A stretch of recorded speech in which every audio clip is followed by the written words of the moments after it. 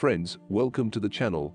Don't forget to subscribe and like it so you won't miss new incredible stories and rare historical photos. The flight attendant occupation took permanent shape in the 1930s as women's work that is, work not only predominantly performed by women but also defined as embodying white middle-class ideals of femininity. As the nascent commercial aviation industry sought to lure well-heeled travelers into the air, airline managers and stewardesses together defined the new field of in-flight passenger service around the social ideal of the hostess. A stewardess's foremost duty was to mobilize the nurturing instincts and domestic skills to serve passengers, much as middle-class, white women were expected to treat guests in their own homes. The early airlines' crystallizing idea of the stewardess alus demanded, however, that the hostess to be as desirable as she was nurturing, from the start, stewardess work was restricted to white, young, single, slender, and attractive women.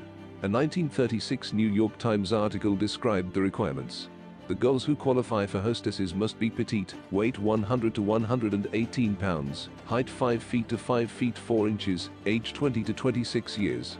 Add to that the rigid physical examination each must undergo four times every year, and you are assured of the bloom that goes with perfect health. The post-WWII America changed drastically and millions of Americans started to travel on airplanes, and the stewardess profession expanded further. Now, young working women did not have to change bedpans or take dictation, they could travel the world, meet important people, and lead exciting lives. The stewardess position was well paid, prestigious, and adventurous, and it quickly became the nation's most coveted job for women. Scores of qualified young women applied for each opening, so airlines had their pick and could hire only the creme de la creme. In order to win a stewardess position, an applicant had to be young, beautiful, unmarried, well-groomed, slim, charming, intelligent, well-educated, white, heterosexual, and doting. In other words, the post-war stewardess embodied mainstream America's perfect woman. She became a role model for American girls and an ambassador of femininity in the American way abroad the appearance was considered as one of the most important factors to become a stewardess. At that time, airlines believed that the exploitation of female sexuality would increase their profits, thus the uniforms of female flight attendants were often form-fitting, complete with white gloves and high heels. In the United States, they were required to be unmarried and were fired if they decided to wed. A stewardess could not be pregnant. A stewardess could not grow older than her early 30s.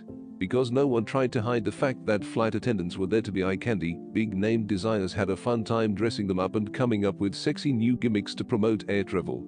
In 1968, Jean Louis gave United Airlines stewardesses a simple mod A-line dress with a white stripe down the front and around the collar, and paired it with a big blocky kepi-type cap. The stewardess image reached its height of sexualization, becoming a collective cultural fantasy that airlines shamelessly promoted through their advertising. The dark side of this trope was that women who got this prestigious position were often subjected to sexual harassment from drunken passengers who might pinch, pat, and proposition the stewardesses while they worked, according to Kathleen Barry's Femininity in Flight. A History of Flight Attendants. Despite their dual roles as mothering servants and objects of sexual fantasy, stewardesses were fighting for changes inside the airline industry, the U.S. Equal Employment Opportunity Commission's first complainants were female flight attendants complaining of age discrimination, weight requirements, and bans on marriage. Originally female flight attendants were fired if they reached age 32 or 35 depending on the airline, were fired if they exceeded weight regulations, and were required to be single upon hiring and fired if they got married. In 1968, the EOC declared age restrictions on flight attendants' employment to be illegal sex discrimination under Title VI of the Civil Rights Act of 1964. The restriction of hiring only women was lifted at all airlines in 1971. The no marriage rule was eliminated throughout the U.S. airline industry by the 1980s. The last such broad categorical discrimination, the weight restrictions, were relaxed in the 1990s through litigation and negotiations. Friends, thank you for watching and offer to discuss what you see in the comments. See you soon on the channel.